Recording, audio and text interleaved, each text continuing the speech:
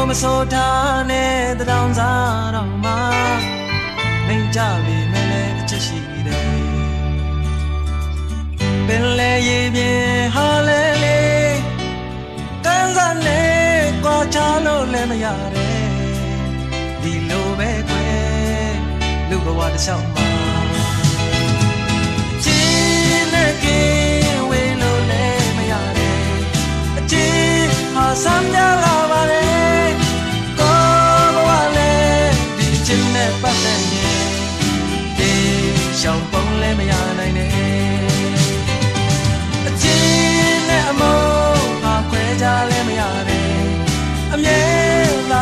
လက်ရှိနေမယ်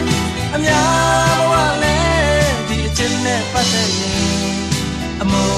ကိုလုံးဝမလိုလားနဲ့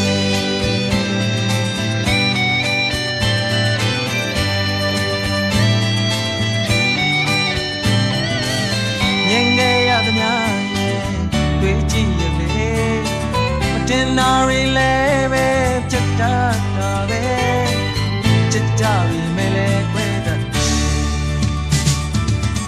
တင်နာသူတွေမှန်သမျှရဲ့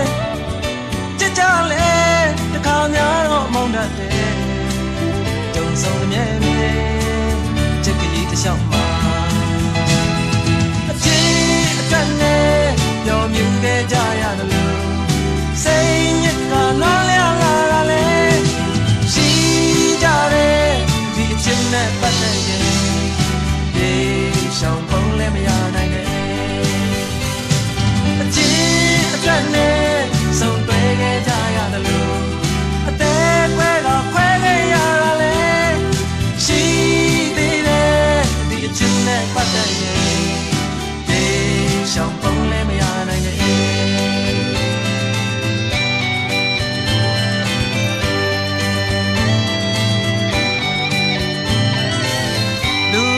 တစ်လျှောက်မှာအချစ်ဆက်ဟာလေ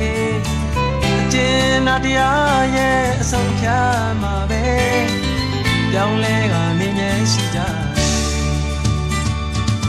ကျင်နာသူတွေမှန်သမျှရဲ့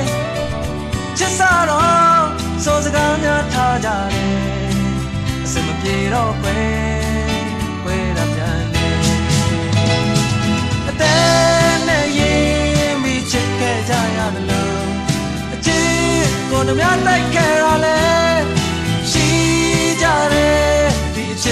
ပတ်သက်ရင်